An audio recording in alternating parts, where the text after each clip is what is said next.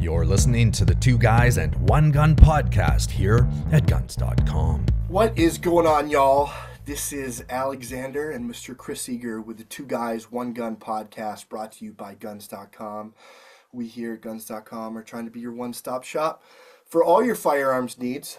Today, we are going to get into pocket rockets, pocket pistols, small little baby guns designed to fit inside of the the pocket, you know, something easy to carry around. Really revolutionized conceal carry, one of the first kind of concepts for conceal carry before it was a huge thing.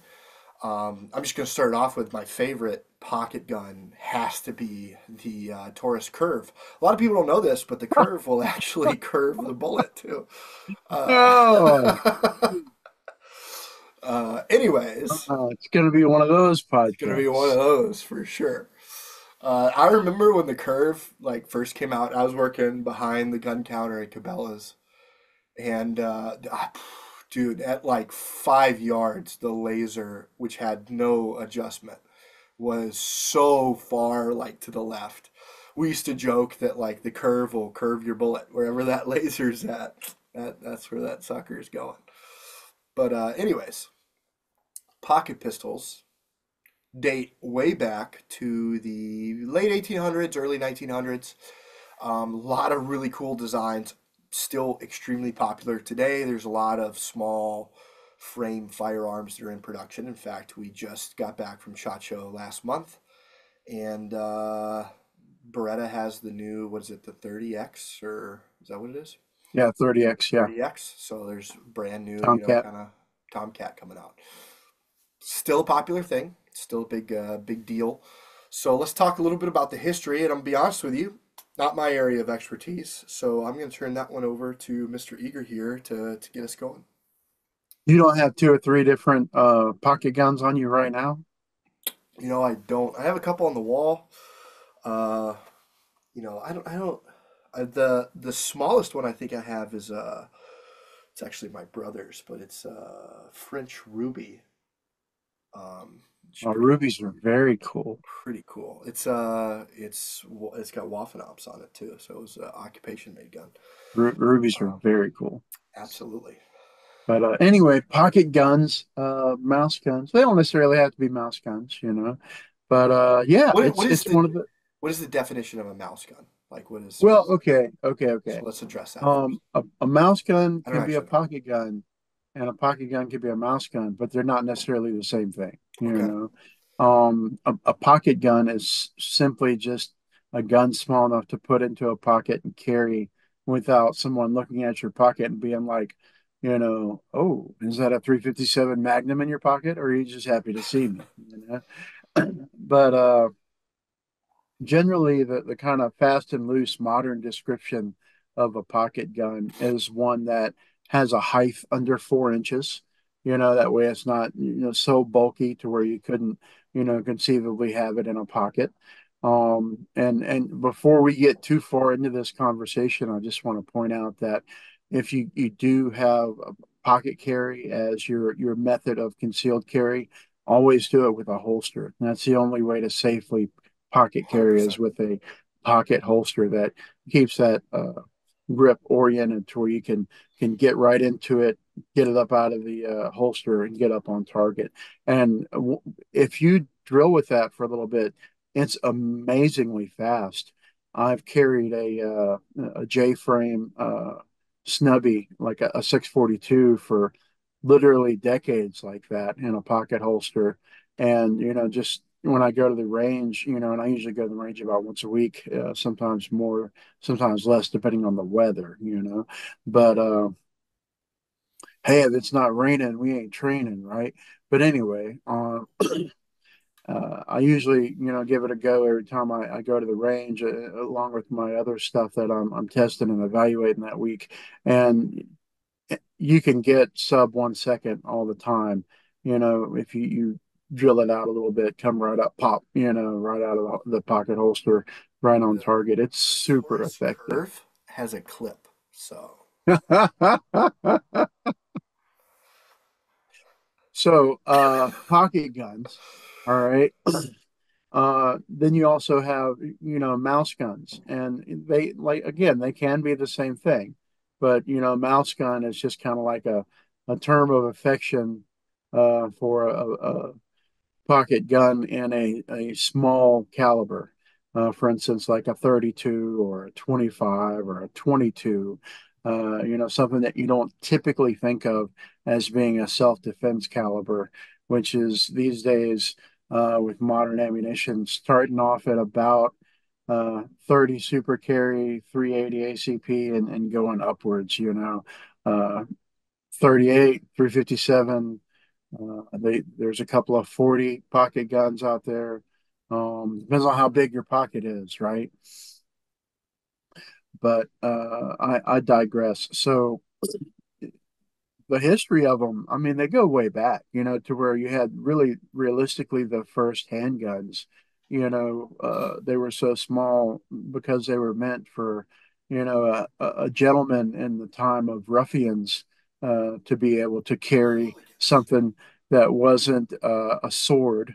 You know, uh, you look back at your very first uh, Smith and Wesson revolvers, the number one and stuff. It's a very small 22 caliber uh, revolver. You know, those meant you know for pocket carry. You know, in the carry of you know in your your your jacket pocket. You know, or, or you know similar vest pocket type of things.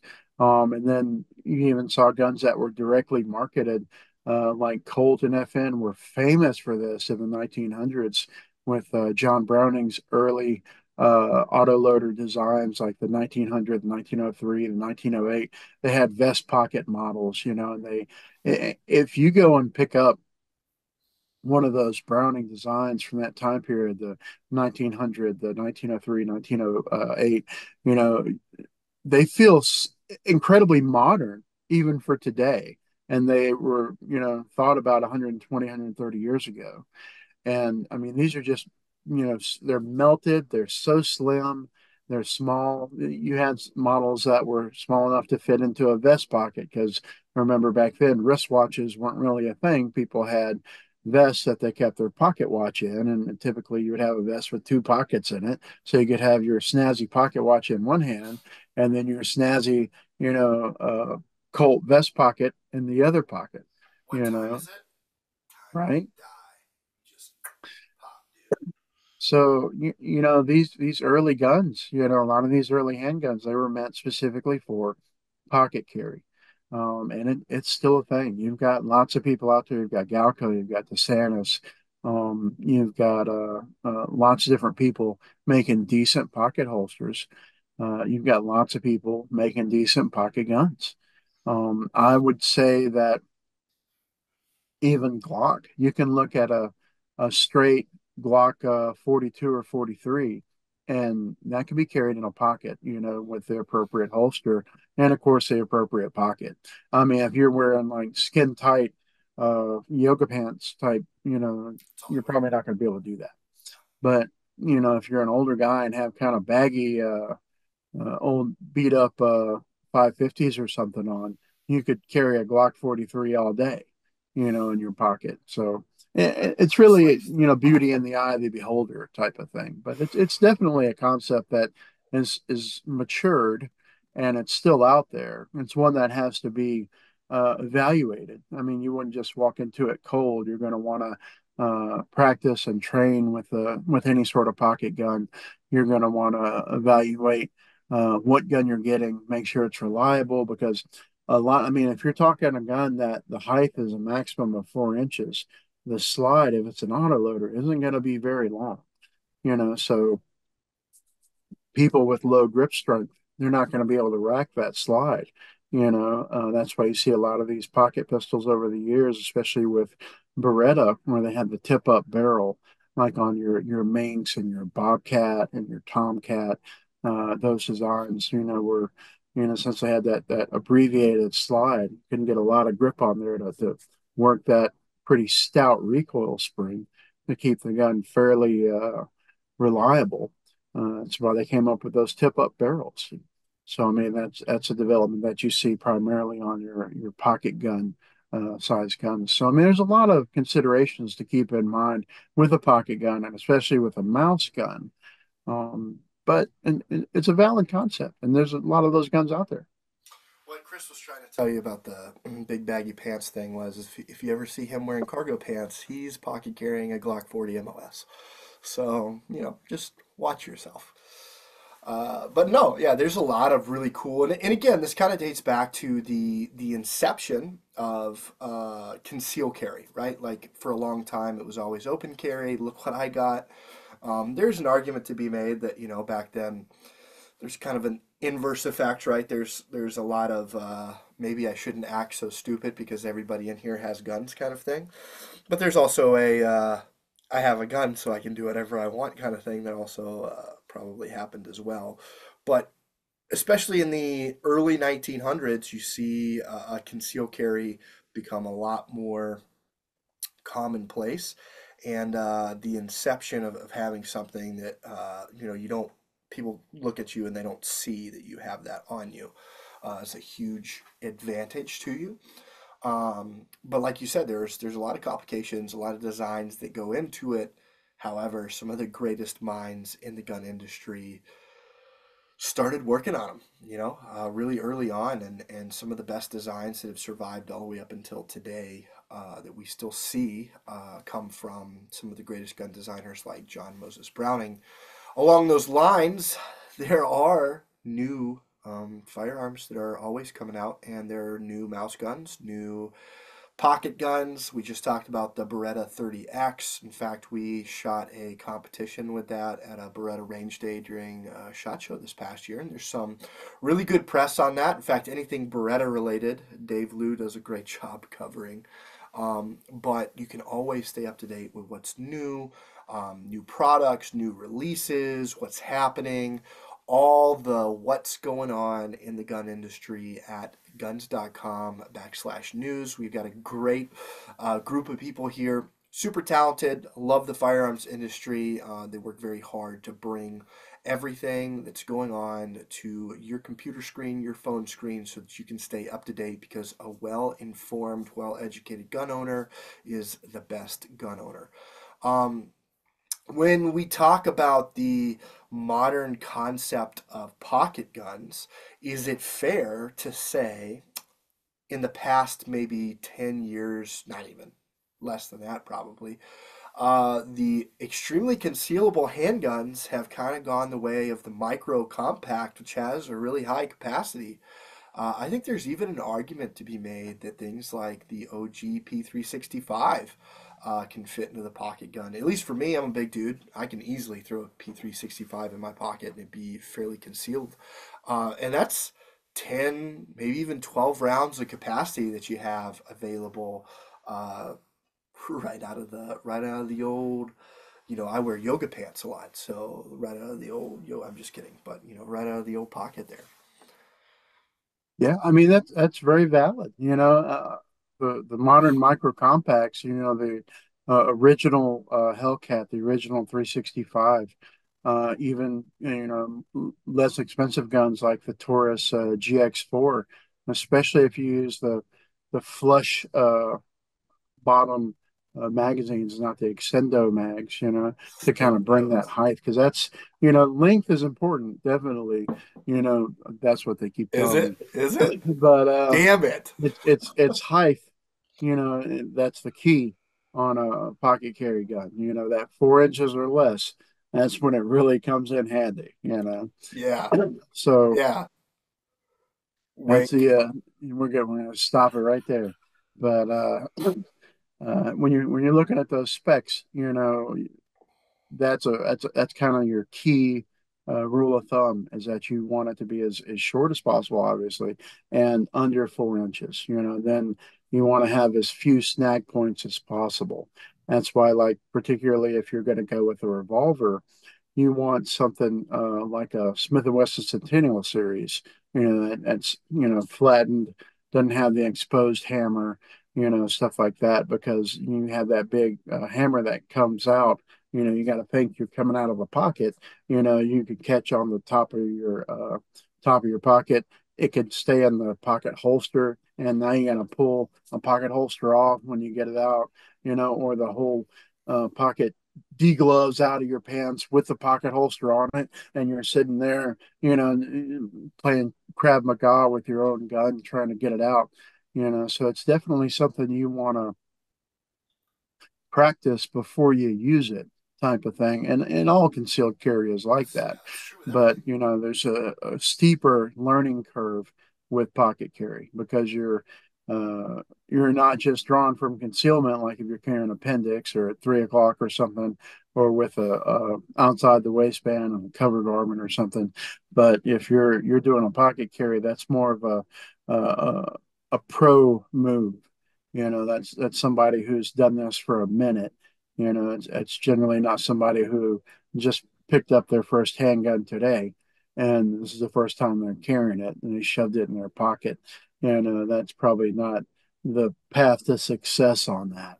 You know you definitely want to want to train with an empty unloaded uh, gun at home until you're you're very very very comfortable with your draw and then you know, graduate to the uh, snap caps and graduate to the range and, you know, put it all together and, and make sure it works for you, you know, before you just buy a gun and toss it in your pocket. You know, you definitely want to get in touch with your, your holster and uh, make sure you've got all the things. And uh, there's no shame in seeking training.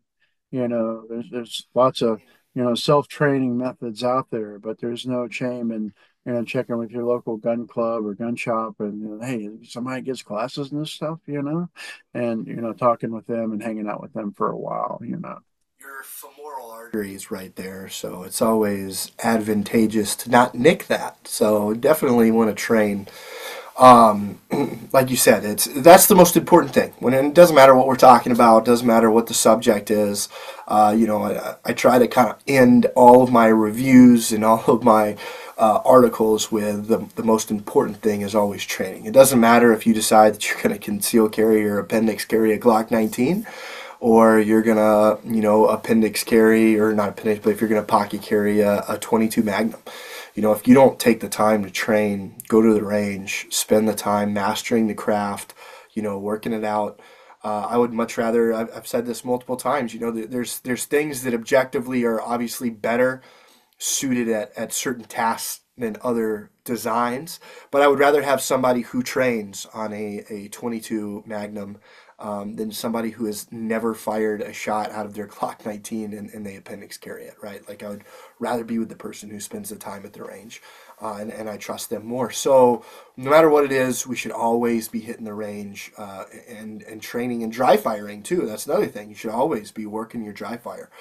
Um, it's a perishable skill. It's something that you can always work. Um, there's some great companies out there like Mantis.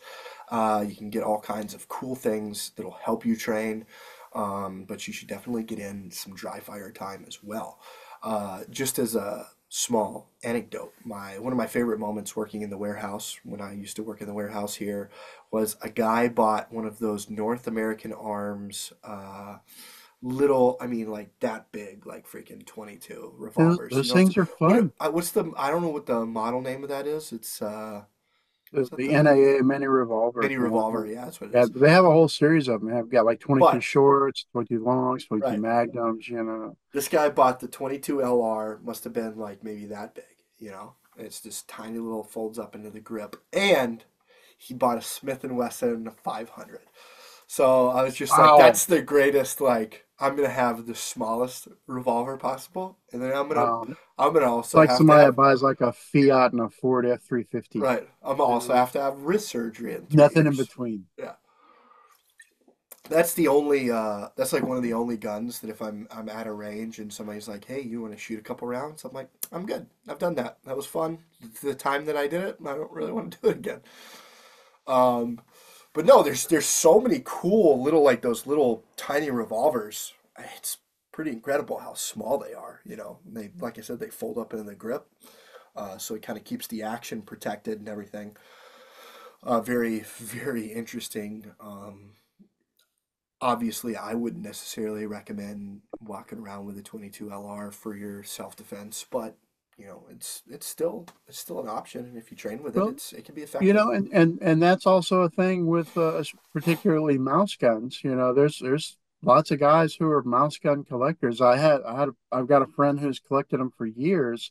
He's got dozens of the things. He's got old, you know, Remington Derringers and Butler Derringers and stuff, and those those crappy uh, Davis Derringers and all the little mini revolvers. And he's got some of those. Uh, gosh, I forget what you call them. The little Lilliputian revolvers that come from like Austria that are they look almost like you could put them on a keychain or they're a whistle or something you know, but like they actually fire like a little pin fire round, like a four millimeter pin fire round. He, he's got some of those. And so, I mean, it's, there's an actual collectability to, uh, you know, these little mouse guns, you know, and uh, particularly when you look at the, the older, uh, like your, your, we were talking about the Colt vest pockets and stuff like that. And the, uh, the Browning baby, if you ever looked at the Browning Baby, the little 25 caliber Browning Baby, some of those things are downright cute. You know, they, they had them with like mother of pearl grips and chrome and nickel and all sorts of stuff. I mean, they were, you know, it's like, well, that's a that's a sweet little gun, you know. And they had they sold them a little patent leather case, you know, and, and a lot of times you still find them, you know, with that same patent leather case, and it hasn't flaked all off yet, you know, and it's still a nice nickel finish or chrome finish or whatever, you know, some exotic, you know, Coca Cocobolo grip on it, and it's it's a cool little gun, you know. Sig kind of does the same thing with the the 238, the 938. You know, you still kind of they got those sapphire finishes and all those cute little pretty, you know, and they come with a little I don't know Kydex holsters and stuff. They're kind of cool. I guess that's probably also a uh, in in the running for uh, for a pocket gun as well. Um, but if you're ever looking for a pocket gun, maybe you've got like a big old Glock 40 MOS like Chris likes to conceal carry in his uh, pocket on his cargo pants, and you want to trade that in for a baby Browning, you can do that at guns.com. Uh, we have a program called the We Buy Guns program where uh, you can submit a picture, a little bit of information. We'll send you an offer virtually. If you like that offer, we'll send you everything that you need to ship that gun to us. We'll pay you either direct deposit or through a check. Um, and I think it's coming in the works where uh, there'll be a, a, separate offer where you can get it in um, gift cards so you can turn right back around and get something at guns.com, kind of a, a trade in value uh, and maybe change up that concealed carry, go to a, to a pocket gun. There's a huge selection of firearms through thousands of FFLs across the United States, all in one spot, and that is at guns.com. Um, that's also one of the things that you know I think a lot of people because of 380 9 millimeter 357 40 all that it's really easy to forget about all of the other calibers that exist right? It's i mean you could pretty much just from anywhere you could throw out a number from like 20 up to 45 and if you just throw acp behind it it probably exists as a caliber right? So there's so many just those those tiny little um, you know, like you said, mouse gun calibers or, or, pocket calibers that are out there, and a lot of people still run with them. You know, they still use them. Some of them are in, in production. Outside of the United States, there's a lot of nations that don't allow you to own popular military cartridges, right? Um, one of the reasons why things like 30 Super Carry exists or 38 Super exists. So things like 25, 32. That's the go-to uh, caliber in Mexico is 38 Super Carry. Absolutely, because and, and because like nine millimeters just for the military, just for the military, yeah. And so there's there's a lot of places where you know 32, 25, um, things of that nature tend to thrive a little bit more than maybe the United States. But that's not to say that it's not popular here as well. Also, I think it's super cool. You get one of those little they they do the Tomcat Bobcats with the threaded barrels now. You throw on a can with a 25 or a 32 um, there used to be, uh, I, I, worked once with, uh, it was a Polish Grom, I think, and they, during the height of OEF, they would uh, have their smallest guys put on like burkas, and uh, they would go into these tea houses where they knew particular folks who were making IEDs and such of that nature would hang out and uh, they would take those little baby mouse guns and they were threaded through cans on there either 22 magnum or something like 32 25 and they go into these uh, tea houses getting one of the private booths and you know and uh, makes no noise and then you get to just walk out. So uh, it's, it's something that i uh, like some of the grom guys that i, worked with previously had, had talked about. So there's even military applications that uh, that these small little baby guns, pocket guns, have uh, have come into use with. I cannot remember the exact models that they were using, but I'm like 90% sure they were Berettas, uh, but I can't remember because I think they, they, they, had the threaded barrels and everything. But anyways, uh, there's even some, like I said, even some kind of cool military use that uh, that some of those guns. Well, you know the the Israeli Mossad and and their air oh, yeah. marshals and stuff you know they carried the uh or they used like not just carried but there's a lot of actual like field use of uh beretta 22s like your 71 model beretta's jaguar you know the uh, little you know svelte little 22 uh pistol you know that was used extensively you know especially after uh munich and 72 and stuff you know so wasn't there a Smith and Wesson? I could be wrong. Wasn't there a Smith and Wesson like pocket revolver that was specifically made for the air marshals, and the caliber was like a specific 22 caliber that wasn't supposed to penetrate like the hull of the plane, so they wouldn't depressurize the plane if they had to fire inside. I feel like there's a forgotten weapons video on that, but I don't know. Well, and, and this is probably the subject for a whole other uh, deal. But Smith and Wesson actually developed a like a, a special purpose revolver for the tunnel rats in uh, Vietnam, and it was like flashless, you know, suppressed without a suppressor, you know, fired a special round, you know, um, and and that's like a whole deal. You know, there wasn't very many of them made. It was it was more or less an experimental, you know, type of project. Um, but there was stuff like that out there for sure, you know. And but you know, talking about Smith and Wesson pocket guns, they made the they also made the Smith and Wesson Model 61, which is a little tiny, like just bigger than a matchbook sized uh, 22 that they had around for a long time. They, they they weren't very good guns. They weren't very reliable, but they they worked. You know, sometimes you get that first shot off anyway. Um, uh, so they were popular. Like the 61, uh, the original 61 wasn't uh, very reliable, but like the 61 2 was was a little bit more reliable, you know. So that's the one that people are always looking for.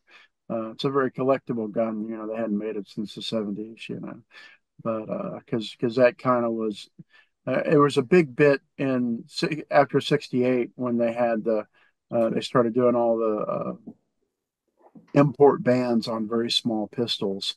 That's why you saw like the Walther PPK had to be made in by Smith and Wesson, you know, at the, at that time and uh, all those little tiny like the FIE Titans and stuff stopped coming in from uh, Italy and the little Röhms uh, started coming in from Germany um, because they started making them in the United States because they, they were banned from import. They didn't uh, pass the, the, sporting purposes test for handguns. Uh, which that's that's still a boogaboo. That's still a thing that's out there. That's why you can't get very small pistols and revolvers made overseas imported to the United States. That's why, like the uh, most of the uh, Glock 380s uh, were kind of verboten for uh, commercial sales here. You could buy them, oddly enough, as a law enforcement customer, but you couldn't buy them uh, as a consumer. You know, that's why they started making the Model 42 over here. Uh, so you know you could get it, you know. But you know, that's a that's a little you know getting into the weeds on. That's a, yeah, that's another another podcast we'll have to. We get in sometimes. It's pretty crazy. We get in some of the Taurus 805s, which are supposed to have two inch barrels, and they're imported with three and a half inch barrels, and they have a little excess that has to be cut off and then recrowned. And we'll get them every now and then where the excess hasn't been cut off and, and recrowned. I think Mr. Ian McCollum uh, found one when he was in the warehouse a couple weeks ago, and he's doing a, a video on one of those. So that's kind of cool. But anyways, that's another another subject for another time. Um, that has kind of been a, a, good overview of pocket pistols, pocket revolvers, mouse guns, uh, all kinds of cool things. There's some really great articles out there on guns.com.